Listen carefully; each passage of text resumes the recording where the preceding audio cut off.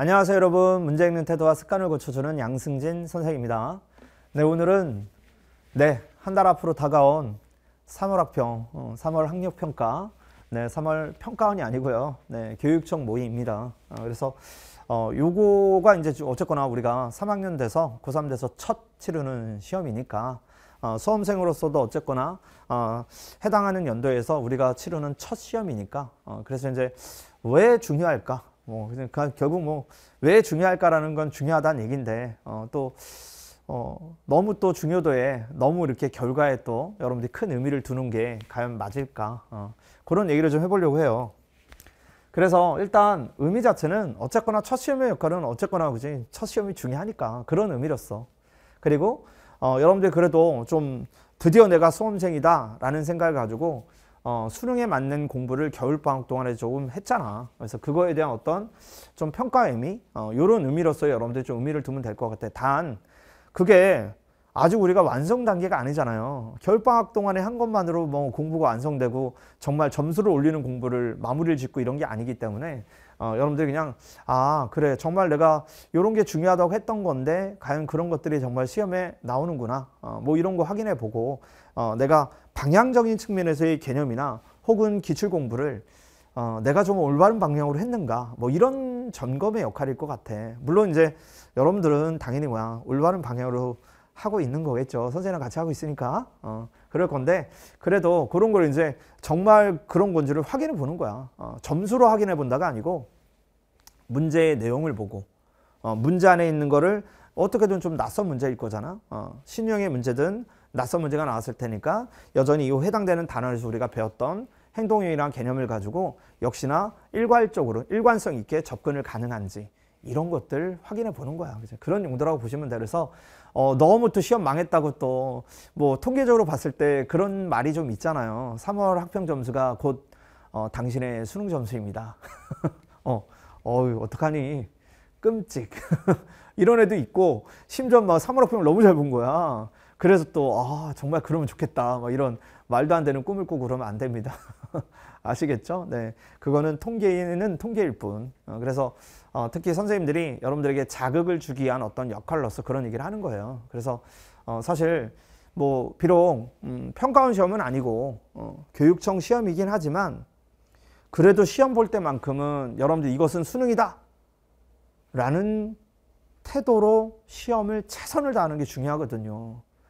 근데 여러분들이 또 그렇게 중요하지 않다고 또 그래가지고 또 시험 그냥 대충 보고 막 이럴까봐 어, 그럴까봐 선생님들이 그런 중요도를 좀 어, 강조하기 위해서 자꾸 이제 그런 얘기를 하는 거예요. 어, 그만큼 학평 점수가 수능 점수랑 거의 일치하니까 학평에 최선을 다하라. 뭐 이런 얘기야. 그런 어떤 얘기로서 받아들이면 될 것 같아요.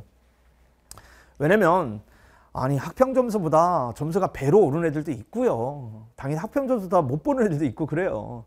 그죠? 그건 어, 어디까지나 여러분 소위 말로 케바케 case by case잖아. 그지? 어, 그런 거잖아. 어, MZ세대 용어 좀 써봤어요. 부끄럽네요. 어쨌거나 그지? 어, 그런 거야. 어, 선생님도 여러분들이랑 이렇게 호흡을 같이 하고 하니까 선생님도 MZ 세대일 수 있잖아요. 어, 이해하는 거죠. 어, 다시는 안 그럴게요. 네.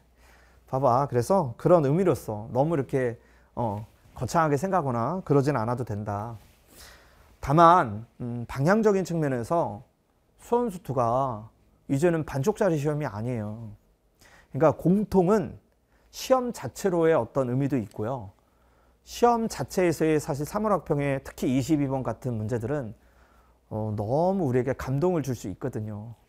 어, 그러니까 피드백도 열심히 하셔야 되고 시험 볼 때도 최선을 다해보고 그리고 피드백도 열심히 하셔야 되는 시험이 맞아요. 그러니까 여러분들 어, 교육청 문제라고 요새는 함부로 이렇게 그지 어, 무시하고 그러면 안 됩니다. 어, 그래서 수원수투가 전 범위로 출제가 됐기 때문에 그 중요도는 역시나 높다. 그래서 결국 수능 때의 그 감정을 느낄 수도 있다. 음, 다만 이제 선택 과목은 출제 범위가 제한이 돼도 너무 제한이 돼가지고 수능에 절대 안 나올 것 같은 것도 나오고 그래요. 어, 그러니까 전혀 큰 의미를 두지 말자. 아시겠죠?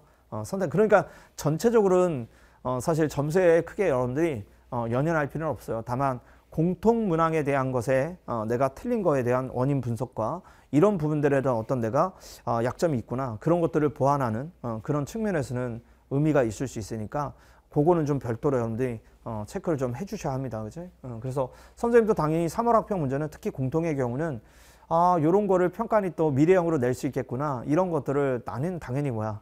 어, 관심을 많이 갖고, 어, 다음 커리 교재에 이제 선생님 자작 문제 같은 커리 속에 그런 문제를 다 반영해서 넣거든요. 그러니까 선생님은 그러게 하, 할 거니까, 어, 여러분도 어, 그런 의미를 가지고, 어, 꼼꼼하게 분석하시고, 어, 하셔야 돼요. 그러니까 시험 보기 전에는 뭐 그래도 시험이니까, 음, 당연히 어, 해당되는 범위, 그러니까 선수투는 이제 전범이니까, 어, 선수투는 당일 여러분들을 어, 꼼꼼하게 분석하시고 복습 철저히 하셔야 되고요. 지금까지 해왔던 대로 어, 해왔던 대로 하셔야 되고 어, 다만 이제 어쨌거나 기간이 어, 기간이 짧아서 여러분들이 이제 겨울 방학 때 공부한 친구들도 있지만 또 다시 공부하려고 이제 그죠? 다시 공부하려고 좀 늦게 들어온 친구도 있고 그러니까 너무 3월 학평이라는 어떤 기간에 매여서 거기에 목표를 두고 시험의 어떤 전체적인 커리를 그지 어, 계획을 잡고 그럴 필요는 전혀 없습니다. 어, 그럴 땐 그런 경우는 전혀 얽매이지 마시고 그냥 내가 하는 그 커리대로 그 커리 과정 속에서 하나의 어떤 시행착오를 겪게 하나의 시험이다. 어, 대신 그럼에도 불구하고 최선은 다하자. 시험을 볼 때만큼은 그제? 어, 그것만 좀 여러분들이 지켜주면 될 것 같습니다. 아시겠죠? 네. 그렇게 해서 어, 선생님이랑 또 시험 보고 나서 시험 문제 보고 나서 또 선생님 할 일이 있으면 또 안내를 드리고 어, 역시 선생님이랑 계속 지금 우리 실코 기코 열심히 하고 있는 거죠. 어, 실전부터 기코 기초코도 열심히 하고 또 이제 수험 생활을 좀 어, 하신 분들은 지금 이미 실코 기코가 완전히 이제 너무 어, 나한테는 기본기여서 이제 어, 사점 코드 문제풀이 연습하고 이런 친구들이 있을 건데 어, 계속 그지 어, 꾸준히 열심히 계획대로 움직이면 되는 거예요. 아시겠죠? 네 그렇게 믿고 어, 다음 캐스트 또 만나도록 할게요. 오늘은 여기까지입니다. 바이바이.